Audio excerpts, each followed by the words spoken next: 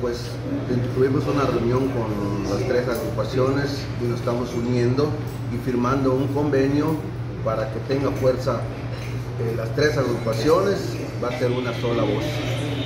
Y para trabajar en, conjunto acuerdo que ninguna otra agrupación entre a Campeche sin que nosotros este, estemos de acuerdo. Si lo amerita, podrán entrar. Y si no, no van a entrar. Porque estamos los tres, somos una sola voz y aquí vamos a continuar.